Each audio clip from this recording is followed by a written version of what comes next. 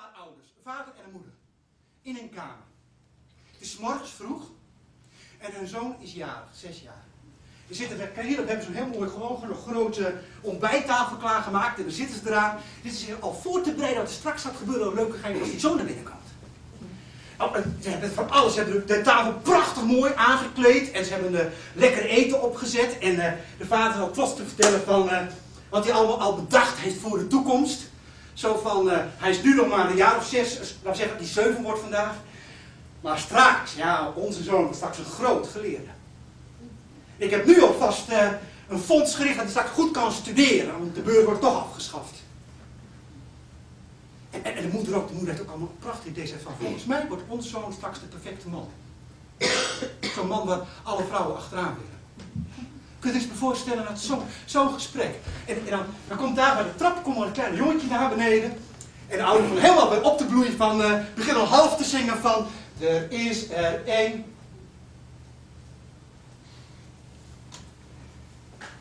En dan staat het jongetje en zegt dan, papa, Mama, vanaf vandaag ben ik niet meer jullie zoon. Vanaf vandaag ben ik een kalkoen. Verbazing van de ouders gaat hij meteen hier de knoopjes van zijn kleren losmaken. Shirt uit, broek uit, schoenen uit, onderbroek uit. Tot hij helemaal naakt voor hen staat. En dan gaat hij zo staan, met de benen iets uit elkaar. Er komt iets naar achter, bovenlijn voorover, de arm iets opzij. En zegt van heel luid, tempe! Want hij dacht dat kalkoenen dat zo dat praten. Kun je een beetje de reactie van de ouders voorstellen? Die tegen van, zich hoge zorgen maakt van, ja jongen, doe maar rustig. Jij komt lekker eten. En de andere die roept van, en nou wel genoeg, zitten! En de jongen die alleen naar staat, kan naar zijn ouders te kijken. Tepe! Twee stappen naar de ontbijttafel met een enorm gebaar. Raat! Al het eten van tafel op de grond. En dan natuurlijk door de knieën. Want zo doen kalkoenen dat.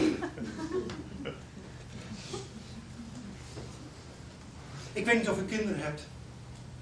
Maar ik kan u verzekeren, dat is redelijk verontrustend, zo'n gebeurtenis. En, en de ouders proberen ook van alles. Ze, ze, ze, halen artsen erbij. Ze halen psychologen erbij. Ze halen uh, kruidenvrouwtjes, sterrenwiggelaars. Alles en iedereen halen ze erbij. En ze hebben alleen maar het idee van, alsjeblieft, laat onze zoon weer zoon worden. Niks helpt. Tot op een dag een man aan de poort komt. Een rebbe. We hem even voor het gemak Rebbe Elimelech noemen. En Rebbe Elimelech zegt van, ouders, het lukt mij. Ik kan uw zoon genezen. Op één voorwaarde. Laat mij met uw zoon in het huis en u move wegwezen. U mag terugkomen als ik het zeg. Ja, daar moet je even over nadenken. Maar dit doet.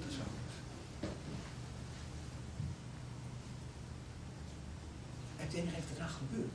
De ouders, ja, de ouders accepteren, die gaan keurig naar buiten, deur dicht. Dan staat er de redder. Komt in de, ontbijtkamer, waar nog steeds die complete chaos van wat al ontbijtresten op de grond ligt, al een paar weken. Want niemand dorst in de buurt van een kleine kalkoentje te komen. En dan zie je daaronder in elkaar, helemaal in elkaar, door het kleine liggen. En daar ligt hij hebben. En je kijkt alleen maar. Je voelt hem al aankomen. Ja hoor. Shirt. Hemd broek naar beneden. Schoenen uit. Onderbroek naar beneden. Lichtelijke spreidstand, kom naar achteren. Voorliggen. Armen als vleugel opzij. En met heel uit. Tempe! Nou, je had jochie moeten zien. Met die grote stralende ogen. Tempe! Dat betekent vriendje spelen. En de hebben van tempe! Nou, het was echt een en al grote vreugde. De Rebbe en, en, en de kleine kalkoen hebben de hele dag van alle mogelijke spelletjes gedaan. Het hele huis onder en boven verkend, lekker gegeten. Het was gewoon één grote feeststruiven. En dan komt het mooiste. Als het avond is geworden, kruipt de Rebbe met de kleine kalkoen onder de ontbijttafel en helemaal in elkaar verstrengeld van zijn slaap. Nou, is het niet idyllisch? En als de volgende morgen de kleine kalkoen wakker wordt. Tempe? Tempe, waar is die hebben gebleven? En opeens gaat de deur open en staat daar de redder. Zo'n zo naakt als die kan, als, als meisje geboorte. En die zegt, goedemorgen! Kun je je voorstellen, als zoiets gebeurt, dat het kleine koppetje hier opeens helemaal bevriest. Je zegt alleen nog maar klagelijk, klagelijk, tippen? Waarop de rabbe keurig reageert. Ja, dat mag je best zeggen. Maar uh, maak je maar niet ongerust. Het is namelijk best mogelijk om kalkoen te zijn en te kunnen praten.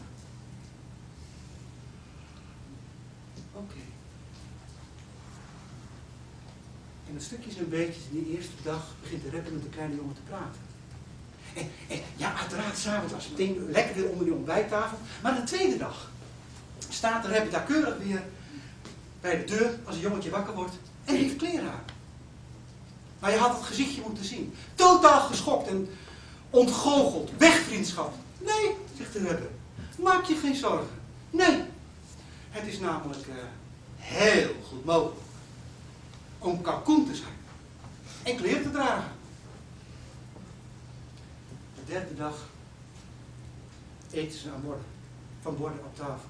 Het is namelijk heel goed mogelijk om gewoon met mes en vork te eten. En toch kalkoen te zijn. En stapje voor stapje. En als nou men zegt, ongeveer zeven dagen de rebbe binnen is, wordt eindelijk de, voor de, deur, de grote deuren van het huis open gedaan en worden de ouders toegelaten. En dan zegt de rebbe alleen maar, vader, moeder, kijk, dat is hem. En weet één ding, het is heel goed mogelijk om en kind, zoon en kalkoen te zijn. Het is namelijk heel goed mogelijk om een aangepast kind te zijn, maar ook heel bijzonder. Dat is allemaal mogelijk.